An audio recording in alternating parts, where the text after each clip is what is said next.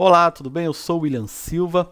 Hoje venho trazer um vídeo um pouquinho diferente, tá? Eu quero falar de um assunto que a gente sempre acaba esbarrando, que são as sétimas, tá? Sétima, sétima maior, onde que é, como que se encontra, como que faz, né? Eu percebo que muitos dos tecladistas aí, eles não têm muito noção do que é sétima, tá? E como identificá-las, ok? Então vamos falar disso nesse vídeo, tá bom? É, antes da gente ir aí para a explicação, não esqueça de se inscrever no canal, deixar o seu like e ativar as notificações, aí, o sininho aí para receber as notificações, tá bom?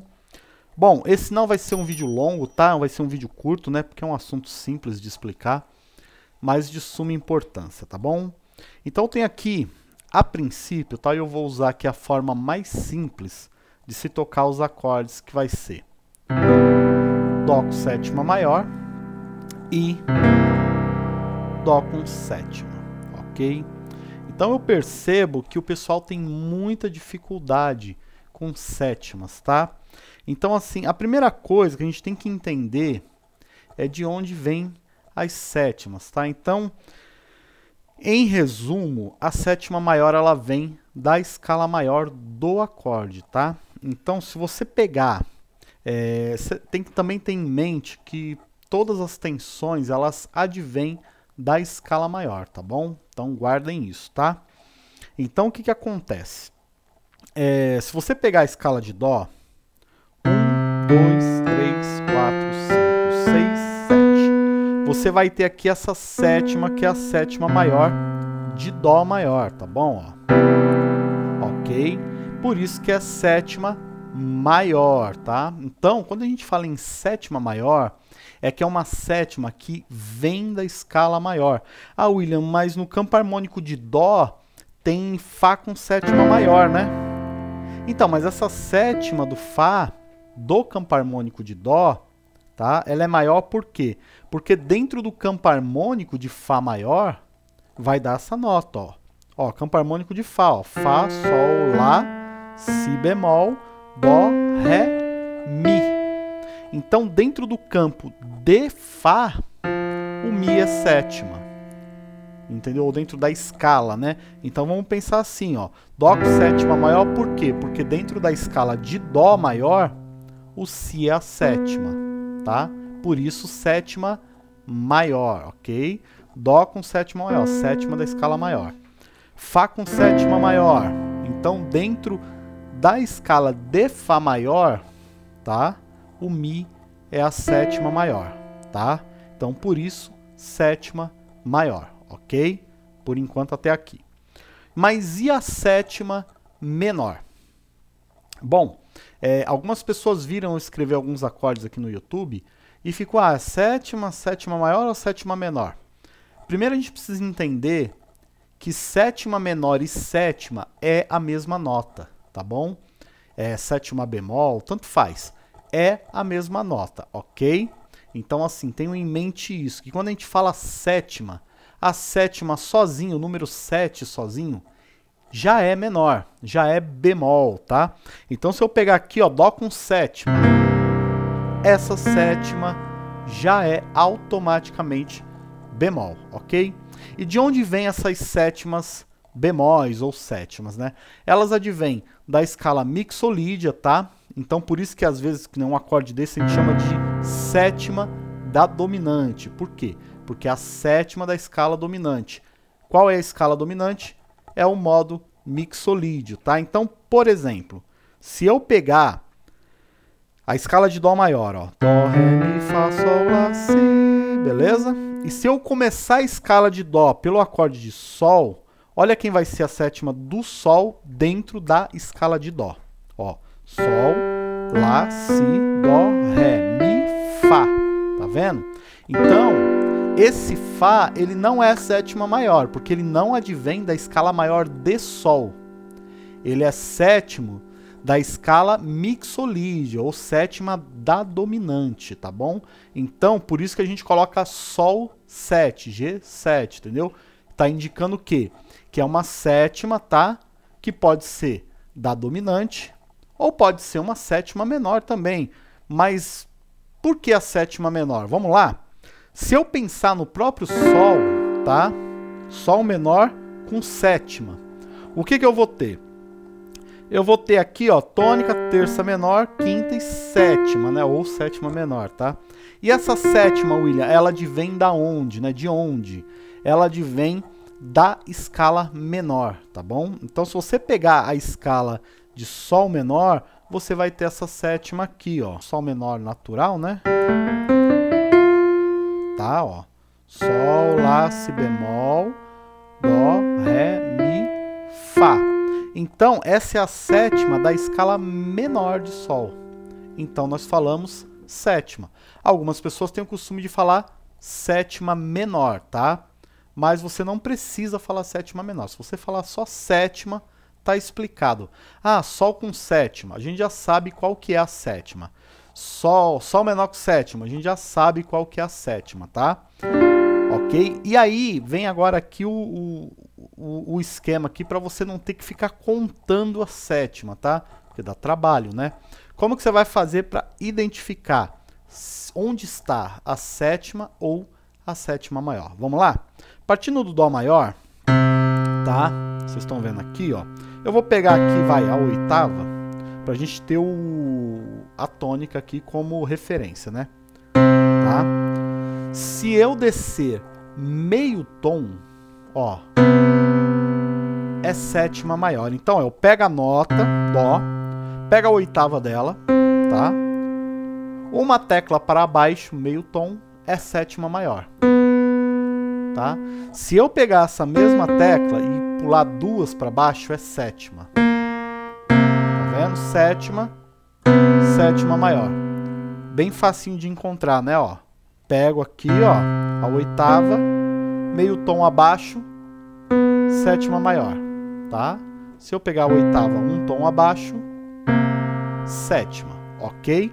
Isso para qualquer acorde. Se eu quero achar a sétima maior de Sol, eu vou pegar aqui o Sol oitavado, meio tom, sétima maior, tá vendo? Um tom, sétima, ok? Então, basicamente é isso que você precisa entender sobre sétimas, tá? Então, existem sétima maior, e a sétima. A sétima é a mesma coisa da sétima menor que o pessoal fala. Tá bom, gente? Tranquilo até aqui? Beleza. Para finalizar, a gente tem a sétima da diminuta, tá? O que, que é a sétima da diminuta? Essa sétima, ela vem da escala diminuta, ok? Dificilmente você vai ver ela por aí. É, mas a gente muitas vezes toca o acorde diminuto com sétima e não percebe. Eu vou te dar um exemplo. Ó. Aqui a gente tem Dó diminuto. Beleza? Vou pegar mais agudo. Tá, ó. Então, às vezes a gente toca assim, ó, e escreve como Dó diminuto, mas isso aqui é um Dó diminuto com sétima, ok? É, a sétima da diminuta, ela tem um dobrado bemol, né? Então imagina aqui, ó, Dó, tá? A oitava tá aqui, sétima maior, a sétima, tá? Que normalmente é menor, bemol, né? Tanto faz, depende da escala. E a sétima da diminuta, ela tem um dobrado bemol, ela é duas vezes bemol. Então, se a sétima maior é aqui, eu coloco um bemol, vem para cá, mais um bemol, vem para cá. Ok? É uma sétima dobrado bemol. É... William, então a sétima da diminuta é a mesma da sexta? É. A sétima da diminuta e a sexta são a mesma nota, tá bom? Só que só se aplica a acordes diminutos, ok? Então, beleza. É, vamos lá. William, como que se escreve, tá? Então vou mostrar na tela para vocês, vou tocar aqui, ó, Dó com sétima maior, tá? Só vou usar uma mão.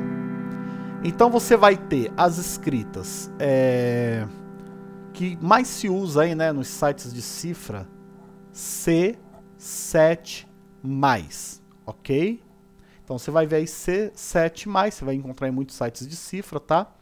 Algum esperto, né? Espertinho, né? Vai tentar me corrigir nesse vídeo, tá? Dizendo que sinal de mais significa quinta aumentada. Sim. É, não seria correto escrever C7 mais para Dó com sétima maior porque o sinal de mais não significa maior.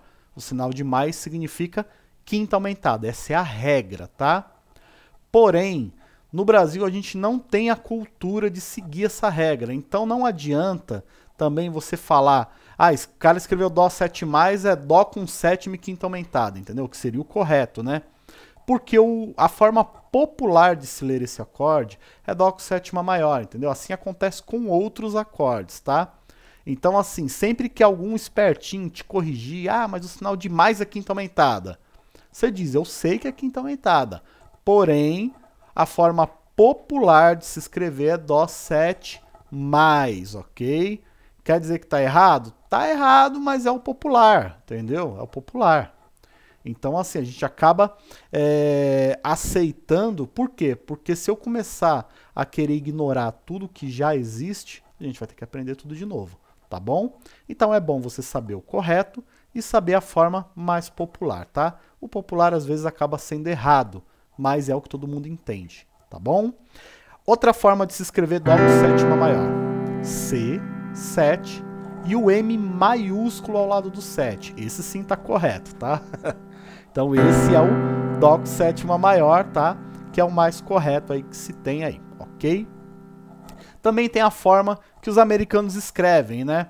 Eles escrevem o, a sétima maior como Major 7, né? M-A-J 7, tá? É a mesma coisa que sétima maior, tá bom? E ainda nos songbooks de jazz, né? Eles costumam colocar um triângulo do lado para indicar que é sétima maior. Então, Dó, triângulo. Também significa sétima maior, ok? Então, assim, é bom você ter esse entendimento, porque o dia que você vê, você já vai saber, olha só, isso aqui é sétima maior. E vai tocar, tá bom? Então lembre disso, tá? Para sétima maior. Para sétimas, basta o número 7 que a gente sabe que é sétima, tá bom? Ponto final. Não tem muito floreio em relação a 7. A sétima, né? Mas em relação à sétima maior, tem que dar toda essa volta aqui, porque o pessoal faz muita confusão, tá bom, gente? Então, assim, a ideia aqui foi essa, passar isso aqui para vocês, tá? Esse é o tipo de suporte que eu só dou para meus alunos no grupo VIP, tá bom? E hoje eu estou abrindo aqui para vocês aqui um pouquinho desse suporte, tá bom, gente? Por quê? Porque toda vez que eu posto um acorde do dia, alguém chega lá e fala que está errado, que não sei o que lá e tal. E muitas vezes é, a pessoa ela tá levando por um lado muito acadêmico, entendeu? Só que você nos sites de cifra não vai encontrar tudo do jeito bonitinho. E outras pessoas dizem ainda que está errado por falta de conhecimento, tá? Então, assim, é, eu não vou ficar trazendo informação errada para vocês, tá bom, gente? Então por isso que eu estou fazendo esse vídeo. Depois eu quero fazer mais vídeos sobre nonas, segundas, é, décima terceira, é, sexta, que todo mundo confunde, tá? Quinta aumentada, décima terceira bemol, todo mundo confunde esses acordes. Quarta, décima primeira, tem uma confusão terrível em cima disso. E aí, se você gostar desse vídeo, na outra semana eu trago um outro vídeo, talvez falando sobre nonas, acorde ADD9, é, acorde ADD2, SUS2, tudo isso aí, tá bom? Assim, vocês vão ter um pouquinho do que é ser aluno do curso, tá? E se você quiser estudar comigo, link aí na descrição, você vem ser meu aluno e eu vou tirar essas dúvidas pessoalmente para você através do WhatsApp e agora também do Telegram. Tá bom, gente? Um abraço, fiquem com Deus e até o nosso próximo vídeo.